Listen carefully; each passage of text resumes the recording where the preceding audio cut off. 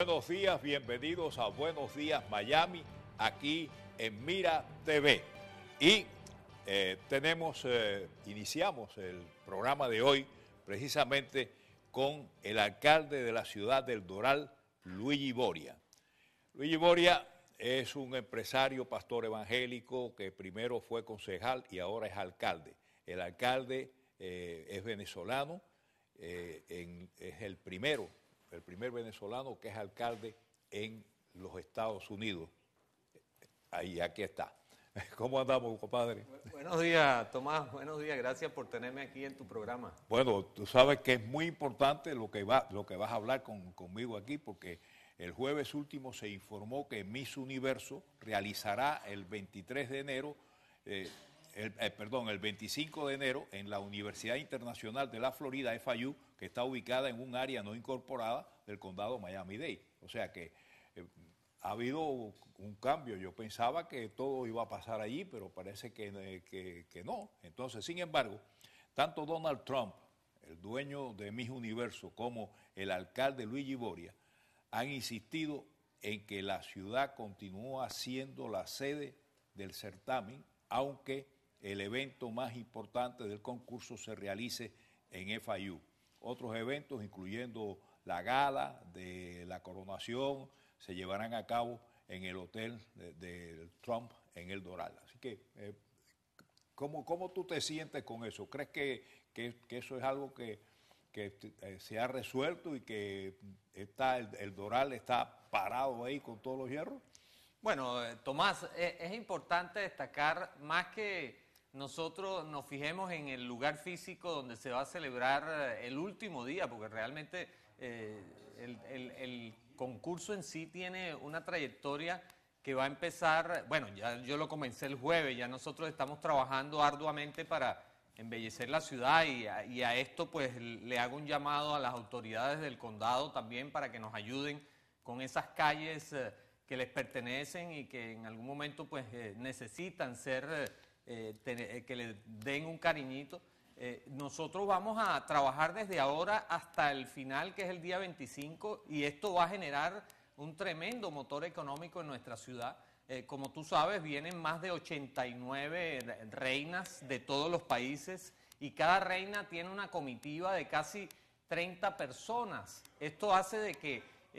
básicamente tenga cerca de 4 mil personas que van a tener que utilizar los recursos de nuestra ciudad y, sin contar eh, toda la comitiva de, gente que viene de otros países. y van a eh, tener eh, locales de, los... Bueno, nosotros tenemos una serie de hoteles, pero además de eso tenemos muchísimos restaurantes y uno de nuestros planes es que abran hasta tarde. Vamos a crear una, una, una eh, amnistía durante este tiempo para el cumplimiento de los códigos, para que los restaurantes puedan abrir sus eh, negocios eh, después de la hora y de esta manera pues puedan la gente disfrutar hasta altas horas de la noche de todo lo que va a suceder. Vamos a tener paradas con carrozas donde vamos a mostrar a las reinas, vamos a tener shows en diferentes hoteles, como tú sabes. Eh, Badía pues es uno de nuestros principales patrocinantes y lo que queremos es que eh, las reinas vayan a cocinar y puedan verlas eh, desde las instalaciones de Badía cocinando. Entonces hay una serie de eventos que se van a realizar previos al, certamen en sí, que va a ser, por cierto, va a, va a ser transmitido en vivo desde las instalaciones del hotel de Donald Trump, donde va a haber una pantalla gigante eh, no te olvides que no, eh, eh, no, tenemos un convention center en nuestra ciudad. Quizás en el futuro pues este sea el camino y nos esté dando la iniciación para que nosotros podamos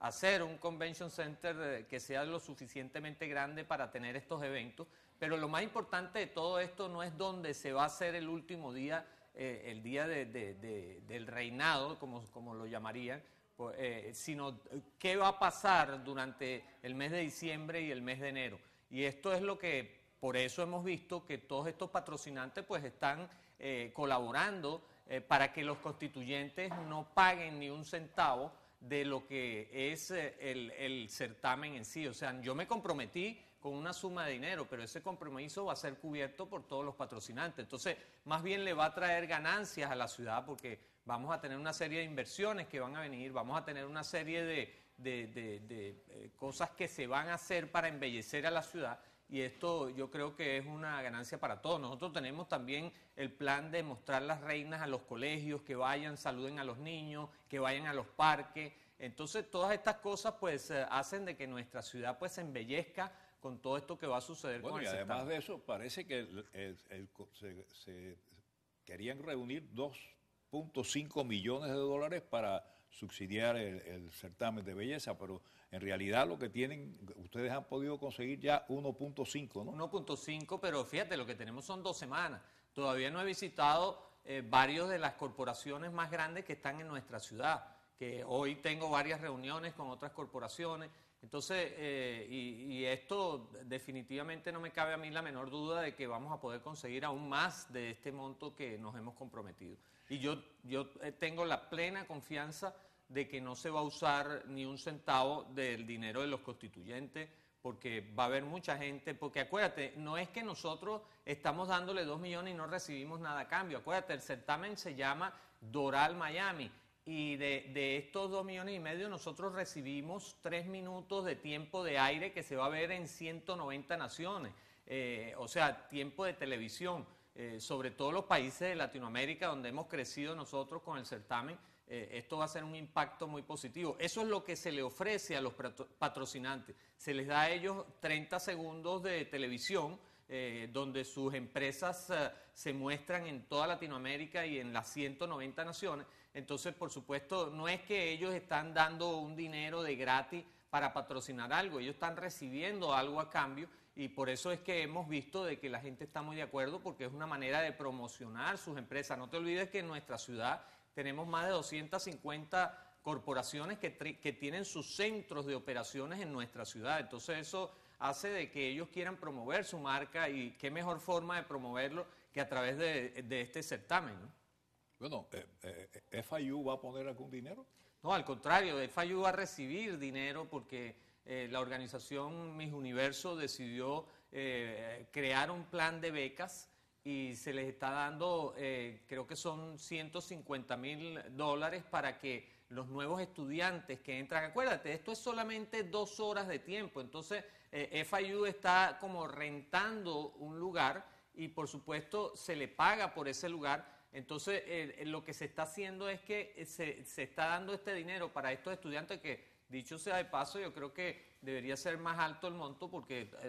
tú sabes, 150 mil dólares no es un monto, eh, digamos, muy exagerado, pero bueno, ayuda, ¿no? Y estos estudiantes van a recibir ese beneficio de que eh, para los futuros años, pues van a tener una beca de, donde el, el, magnate, pues Donald Trump está poniendo 75 mil dólares y el gobierno federal pone la otra mitad, que son otros 75 mil dólares.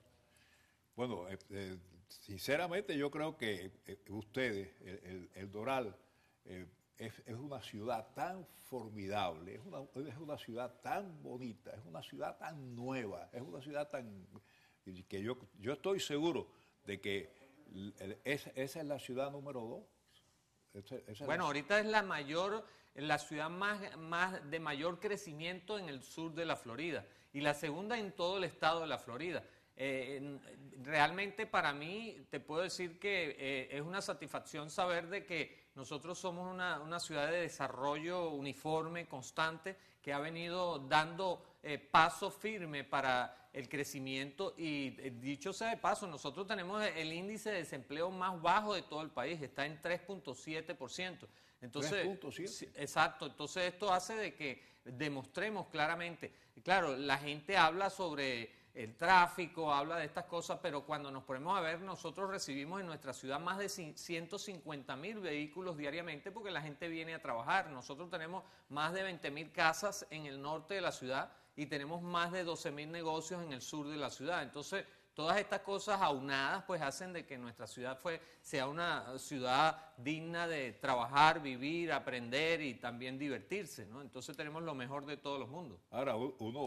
una de las cosas que, son preocupantes allí es el tráfico, mi amigo. Sí, sí, definitivamente. Oye, imagínate tú con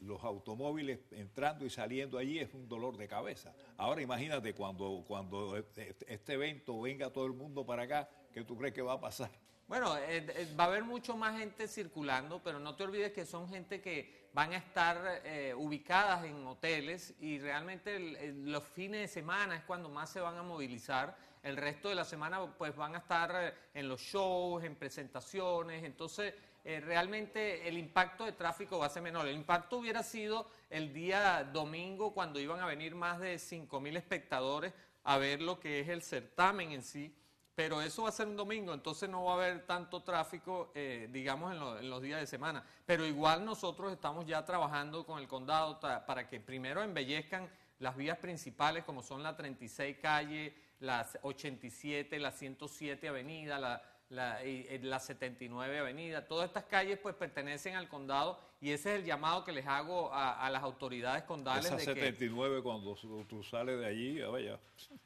una cosa Sí, eh, eh, eh, pero es el volumen de vehículos que pasan por nuestra ciudad, recuerda, es una ciudad donde los carros andan de paso y la 826 está allí. Yo creo que eso es lo único malo que pueda pasar en esa ciudad que está tan linda, en esa ciudad que está tan nueva eh, eh, vale la pena, señores, de verdad, los que no conozcan bien el Doral, que vayan, cojan su automóvil y, den una vuelta por todos los edificios del Doral. Los edificios son algo, algo maravilloso. Oye, déjame poner unos comerciales y vamos a seguir comentando sobre este tema.